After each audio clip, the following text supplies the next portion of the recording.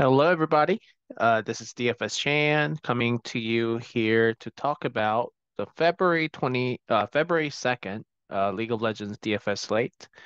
Um, we have a, another four game slate, um, two games in China and two games in Korea. So yeah, without any further ado, let's dive in. I'll try to keep this video a little bit shorter than the one yesterday. Um, I think I was hesitant on a lot of the games all the three games, um, except for the sandbox game, that I was hesitant to make a pick because, like I said, they were all toss-up games based on my stats, based on the stats that I reviewed and researched, and also the eye test. So, and believe it or not, all three underdogs in those matchups ended up winning. So, if you played the underdogs, you know, the the the lower owned, you know, more leverage uh picks you know, kudos to you. So that's great. Um, hope you guys made some money off of that. Um, today we don't have as many toss-ups in my opinion. Um, so I'll dive into that. Okay.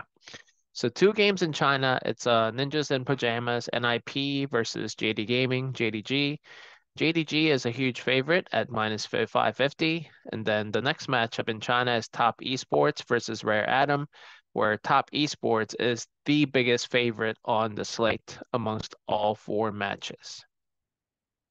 So yeah, let's dive into that. The JDG matchup is interesting. JDG beat, let's see, I have my notes right here.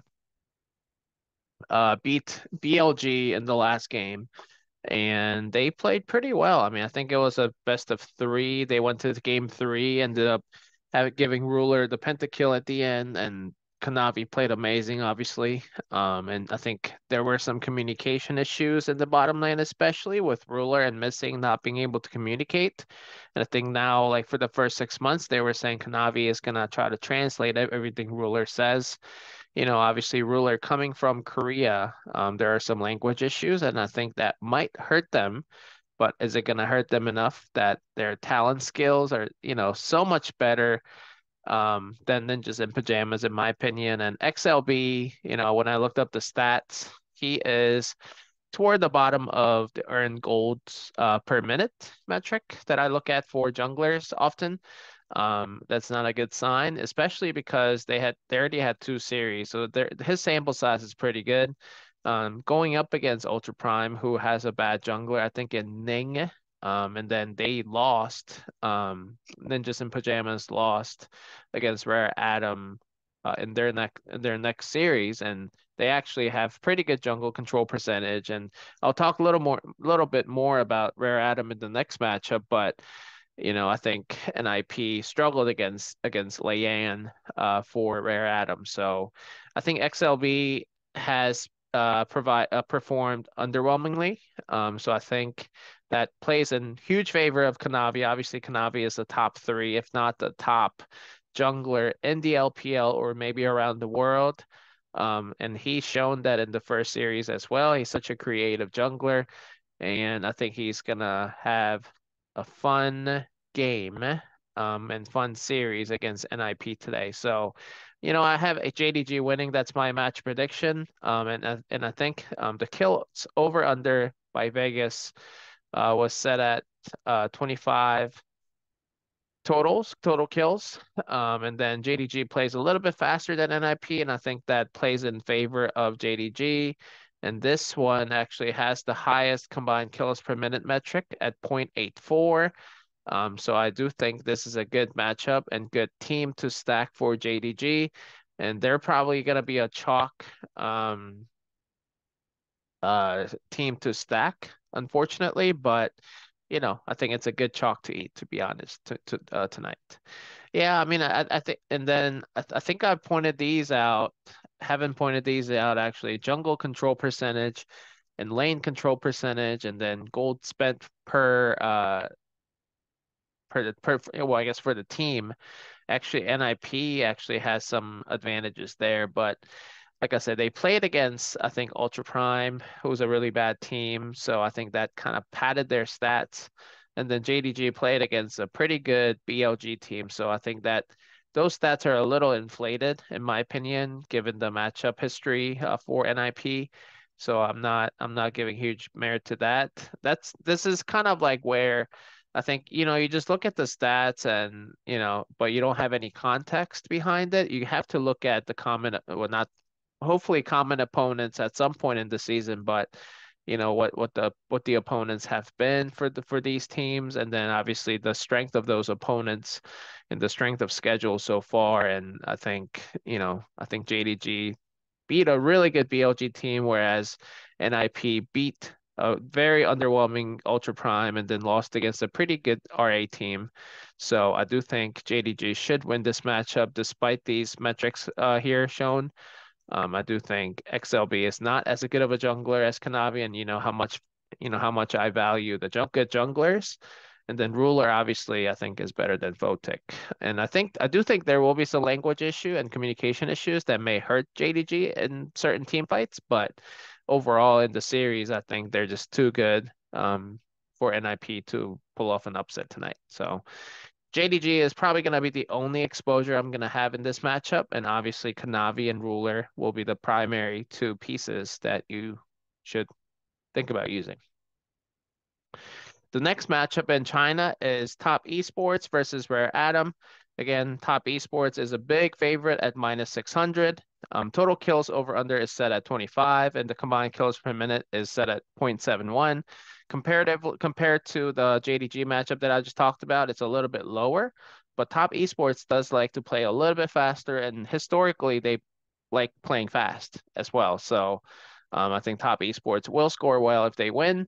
But are they gonna win? Uh, I think it's gonna be a closer matchup than the odds indicate. Um, I think Rare Atom actually has been playing pretty well.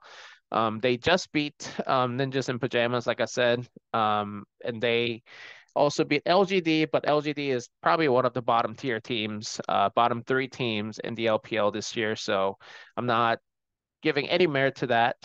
but again, the win against NIP is a pretty good win for Rare Atom. Um, but is it good enough? I mean, is it good enough to beat Top Esports? Top Esports, you know, they look really, really good against anyone's legend in their first series. Um, but anyone's legend has been horrible this season as well. I think they're one and four uh, in total uh, wins and losses. So I think top esports, you know, they were supposed to, they were, you know, expected to beat anyone's legend, and they did.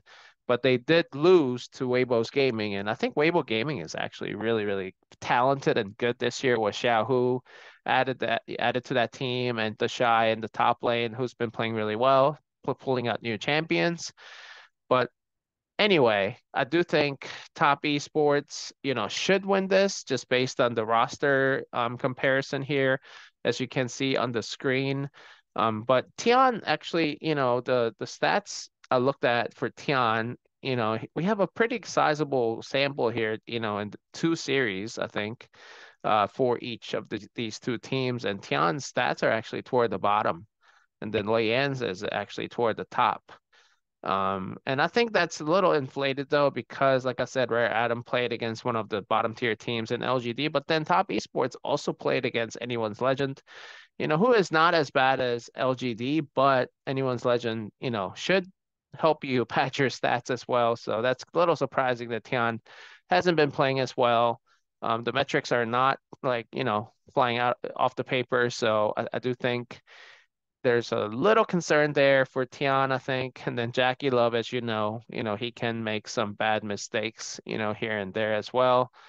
Um, and then Qingtian, though, I think he's been playing well. Um, so I think I think top esports, like I said, are more talented, but I think it, it all comes down to Tian's performance. I think I think he needs to have a good, decent, you know, jungle performance to kind of help the laners to get ahead and you know and win later in team fights. Rare Atom's team fights actually look pretty good against Ninjas in Pajamas, in my opinion. Um, I know they got they got an early lead in the first game of that series, and then they kind of snowballed after that. But Leyan actually kind of impressed me um, in that matchup against um, NIP's jungler uh, uh, to that uh, that that day. So I do think Top Esports should win, um, but some metrics are pointing that Rare Atom could be a live dog tonight. So maybe have a little bit of sprinkle of RA exposure tonight. I think that's probably how I'm going to approach it. So yeah, that's LPL. And like I said, the kill upside is pretty good. Um, I think both of these LPL matchups should score better than the LCK matchups, but that's not always the case. And for example, um, in the LCK, we have Fredit BRION versus DRX. I do think this game, though, I think it's going to be the lowest um, scoring match. Um, I think the total kills over under is set at 21.5, and then combined kills kills per minute is set at 0.65. And I kind of looked at, you know, um, I, I, actually posted these starters, expected starters, on my tw uh, tweet. Um, but I do think UmTi for Fred Brian and then Hena for AD Carry for Fred Brian actually have been playing pretty solid. I think they've been playing you know so much better than Croco and Deokdam in my opinion. Um, the counterparts for DRX. Um, I do think Fred Brian should win this matchup. I think they're they're gonna pull off an upset.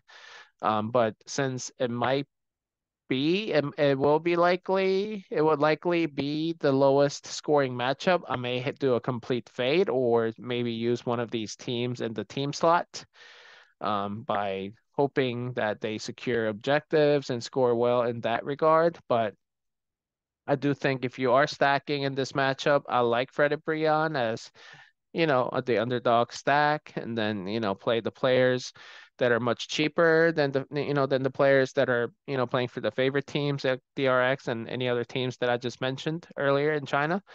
So yeah, I think Fredit BRION will be a good pick tonight. Um, I'm not sure about the kill upside, so I think that's that's the concern where the concern lies. And then last matchup of the slate in Korea is T1 versus HLE. Um, I think during the preseason, this would have been considered as a marquee matchup, but Hanwha Life has been just playing like shit. Um, Clid and Jungle has been playing probably one of the worst uh, junglers in Korea. I know him coming over from China. I think they there has been some you know struggles uh, for Clid over the years, but I think HLE just has been struggling as a team. Even uh, Viper um, at AD Carry has been struggling as well. There are a lot of communication issues. That's exactly what the coach said for HLE. So until they fix that, I don't think they have any chance of beating T1. T1 has been playing lights out. They're the number one team in the LCK right now, um, statistically, but also by the eye test. Um, Keria has been pulling out all these unique support champions and obviously trying to like recreate the meta uh, for League of Legends at the moment, for especially for that support position. Um, I do think there that's a lot of creativity that you know uh, you know, gives HLE a lot to think about and a lot to consider during the ban phase, uh, picks and bans. I do think that's gonna be play a huge role um, for T1, um, where T1 will get will be able to get you know some um, you know popular or overpowering champions that they prefer. But even just without any of those like substantive analyses, I think you know T1 stats, you know, just are so much better than Hanwha Life's. As mentioned, the jungle position gap is so, so vast. Um, and then Gumayusi actually has been playing pretty well in the AD carry position. And then obviously Faker, I think he is so experienced, such a veteran that I think he is not going to let Zeka, you know, uh, roll over Faker himself and snowball from there because I think that's probably the the best winning path for HLE to get Zeka fed and Viper fed. Um, but in order to do that, Clid has to play well early early game and then you know exert dominance over Oner and around the map. But I just don't think that's going to happen. And Zeka and Viper will probably have to do on his own, on their own, and I think against a veteran like Faker and Zeka in the mid lane, I, I just don't think that's going to happen. It's going to be very, very difficult to do, especially in a best of three series. And then Viper, you know, we'll, we'll see if how he does. But Keria going up against Keria and Gumayusi, I think that's a tall task for HLE. So I have a T1 winning. I don't think I'm going to play any HLE, but, you know, you guys can prove me wrong. So we'll, we'll see how that goes. But if you guys like the video tonight, uh, tonight, please, please hit the like button below um, and then subscribe to our channel. You know, that would mean a lot and I would greatly appreciate it. But otherwise, yeah, I'll see you out there on Summoner's Rift and hope you guys make some money tonight. Good luck out there. Have a good one. Bye bye.